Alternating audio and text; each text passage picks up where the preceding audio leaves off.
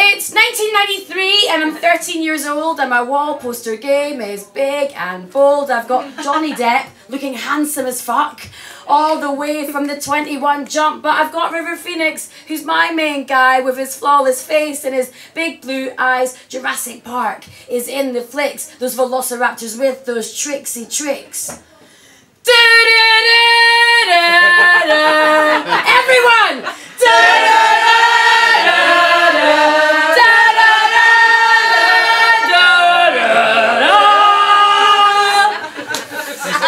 Fucking love it! Sleepless in Seattle and True Romance, Groundhog Day, Demolition Man, Mrs. Doubtfire and Wayne's World 2, Garth and Wayne, I love you! MTV was the thing to watch. Meatloaf was all like, I will do anything. But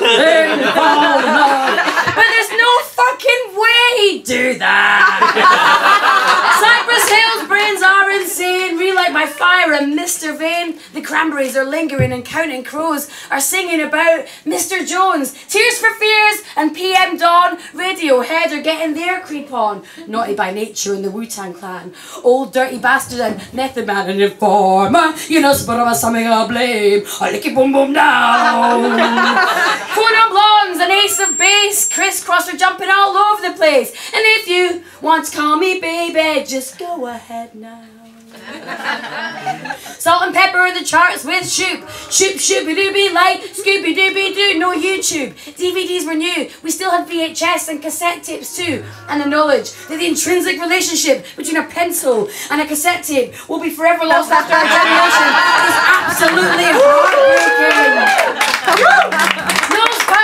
Nose House Party and Fun House 2, Saved by the Bell and Wayne's World 2. I know I've said it twice now, but it's one of the best. And it's my bloody poem, so fuck the rest of you.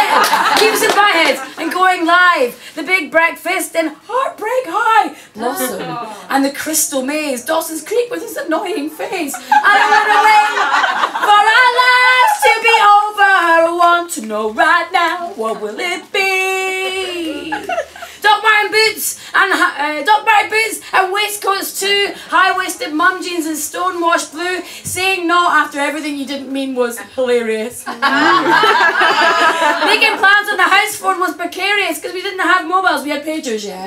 and they were they were cutting edge, yeah. I'm just saying they don't make them like they used to. 1993 may well have been the best year there was ever ever been.